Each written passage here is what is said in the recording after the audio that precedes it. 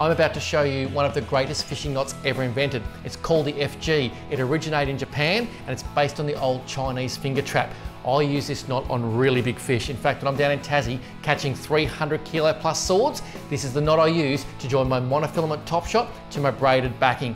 Now, if you want to go GT fishing, does the same thing. Anytime you want to join braid to mono, this is the knot to use. It's quite simple. It's taken me a year to perfect, however, because you just got to get your fingers working the right pattern. So first you put your rod in the rod holder and get a bit of tension on that braid.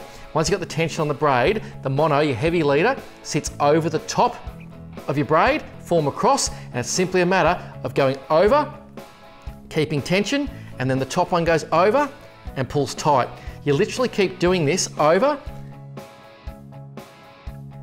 and then this one over, and each time lock it off, pull it nice and tight, because that's what jams into that leader. 27 times I found works best. Just keep going until you've done that about probably 10 times.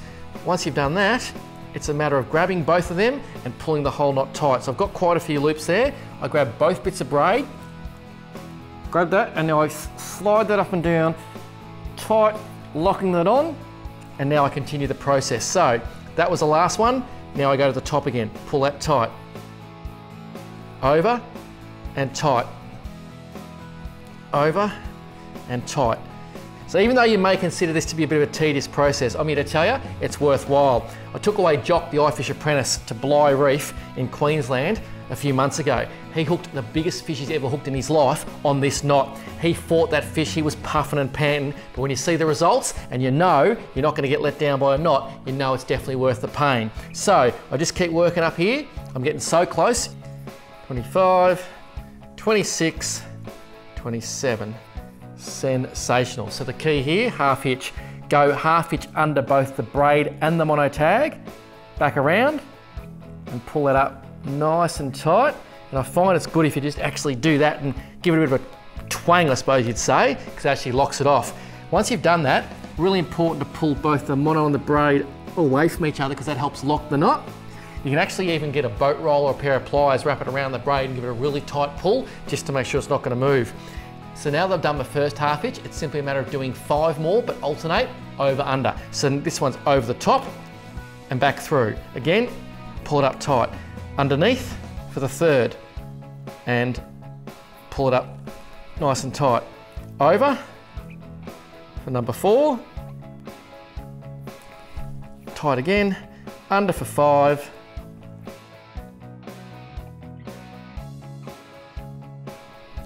And number six. Now the reason for the alternate half hitches, if you only half hitch under, they actually create a spiral that goes around like this, whereas if you alternate, you get a beautiful straight line of half hitches and the knot goes through the water and the guide's a lot better.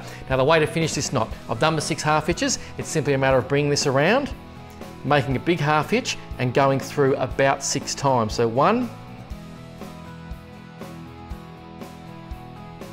two, three, four, five, and six. And this is probably the trickiest bit about the whole knot. I've pulled that through. Just a matter of pulling this up nice and doing what we call a back wrap. So I now grab that loop and I physically wrap it back the other direction.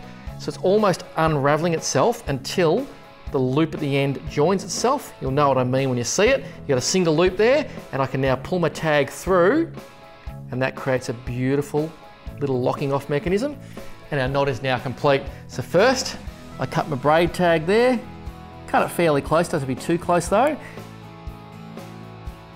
And then our mono.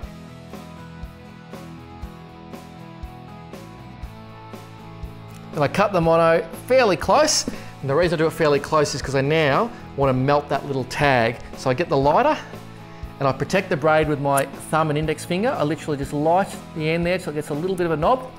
And I just touch it with the end of my finger.